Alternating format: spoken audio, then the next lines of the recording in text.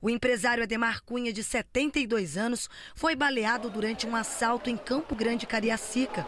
Como de costume, aos domingos, ele estava a caminho da igreja para a primeira missa do dia. Seu Ademar estacionou o carro, olha, nesta vaga, em frente ao bar de um amigo, mas que pelo horário às 7 horas da manhã, o comércio ainda estava fechado.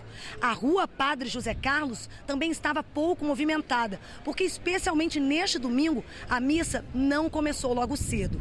O empresário aposentado saltou com uma nota de cinco reais na mão e foi abordado pelo bandido armado aqui, olha, poucos metros no meio da rua.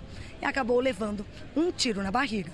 Eu fui olhar, eu escutei um grito, um grito e eu olhei rápido, eu olhei rápido, um jovem abordando um senhor para tentar tomar cinco reais da mão dele. O senhor empurrou o jovem, o jovem pegou e disparou um tiro na região da barriga e do peito dele e desceu correndo.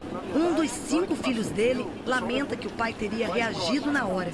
Uma ação que o próprio comerciante anunciava que ia fazer numa situação de ameaça. Quem viu disse que ele reagiu porque era um menino.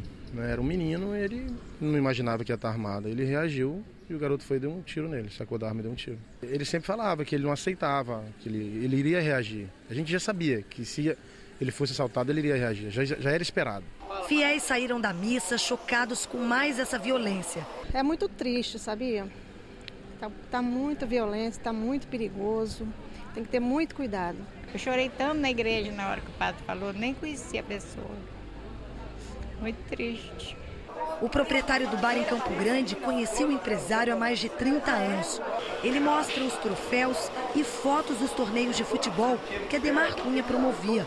É triste a idade dele também, ele é muito.